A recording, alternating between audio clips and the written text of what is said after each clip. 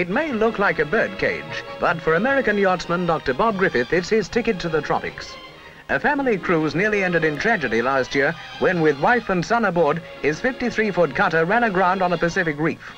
The ill-fated Awahnee, designed by Uffa Fox, had a conventional wooden hull. In Auckland, using the same design, Bob builds a replica in ferro concrete. Though its shell is less than an inch thick, wire and iron rod reinforcing make it strong and light as wood. Young Reedy hopes to build his own boat someday. Who knows, with good timber getting scarce, all small craft might be ferro concrete by then. Right now, Mrs. Griffith is more concerned that this boat will float. Concrete binds the whole structure in one unit for strength. Plaster smooths the surface for the cedar, which stops seepage and acts as base for primer and glossy finish. And borers no problem at all. On the slip, Awahnee sheds her scaffolding and scents the sea air. Uh-uh, elbow grease again. Dr. Griffith has more than money invested in Awahnee. She's a sort of concrete caravan with all the fortunes of a family's future.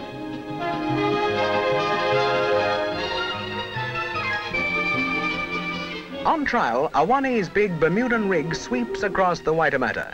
Today, it's a shakedown cruise, but soon New Zealand will fall astern when the concrete Awahnee is bound for Britain and someday home to the USA.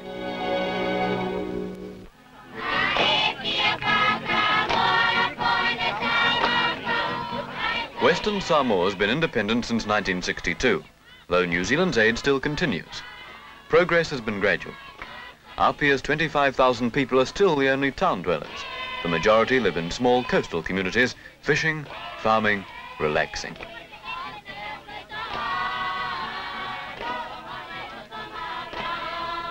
Though Samoans adopt Western ways, they combine them with their old traditions, making a happy mixture of the two.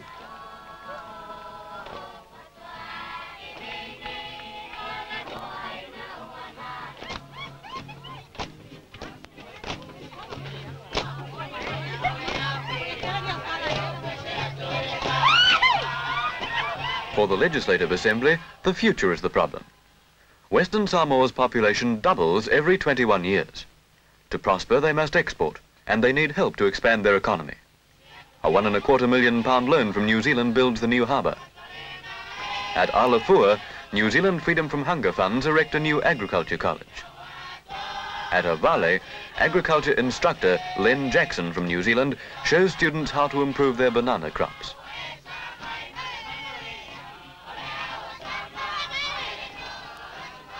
The village school at Putasi accepts another kind of aid. Two teachers, Rosalind Hands of Invercargill and Barbara Church of Dunedin, work without pay through our volunteer service abroad scheme. Their aid will help the new generations of Samoans understand how their country must deal with the outside world.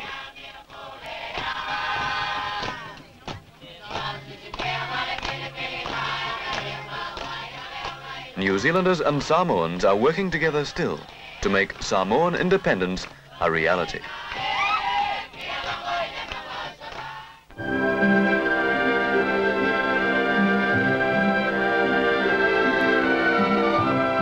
A hundred years ago, a government chemical laboratory was founded for the analysis of minerals.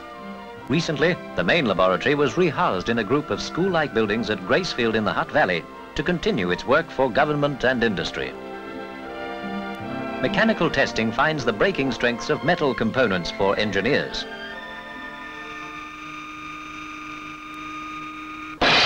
Farmers are more interested in reliable binder twine. They can see that here too it always goes at the knot.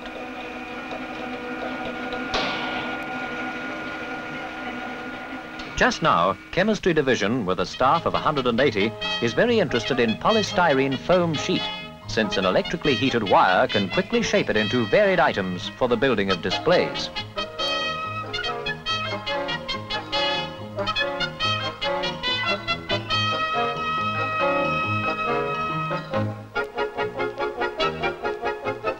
For their own centennial exhibition, all sorts of things are being made, including a nice big model of a molecule of alcohol, showing hydrogen atoms attached in three different ways.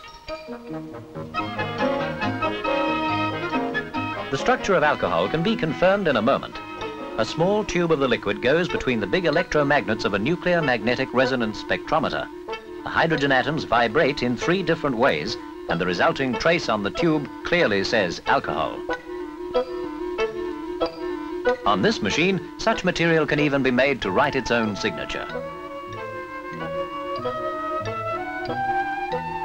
But how much alcohol? A minute blood sample from a suspect motorist is taken for injection into a gas chromatograph. The alcohol diffuses through a coiled tube and its arrival at the other end is recorded.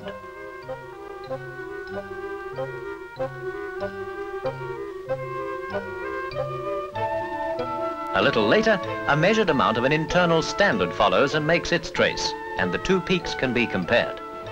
This rapid process saves all the time that used to be spent with test tubes, reagents and distillations.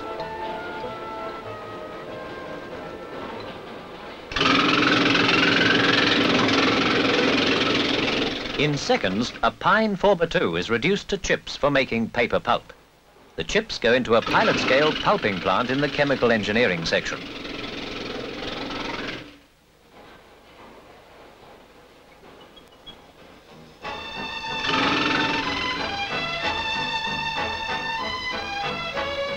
Steam-heated sulfite extracts lignin and resins, leaving a mass of cellulose fibers in the pressure cooker.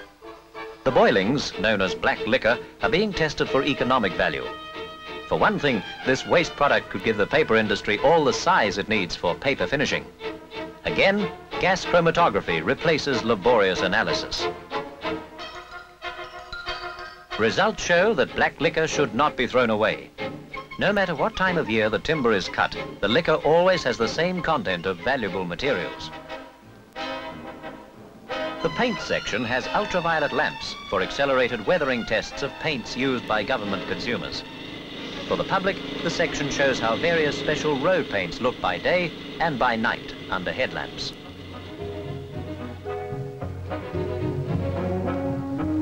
High frequency on, in an induction furnace, zinc is added to copper to make a special grade of brass. As in refining of copper, green branches are used for stirring.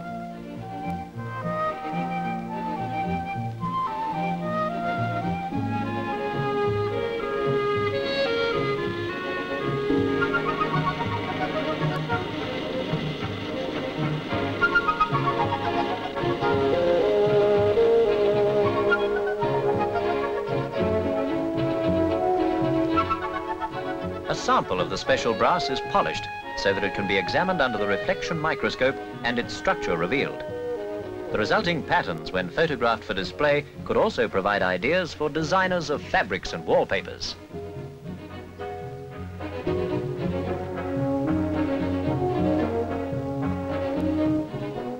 As visitors to the laboratory's open days will see, everything from ice cream to steel has its standards maintained by the chemistry division. Some of the displays clearly date back more than the advertised 100 years, but chemistry is a science with a long history.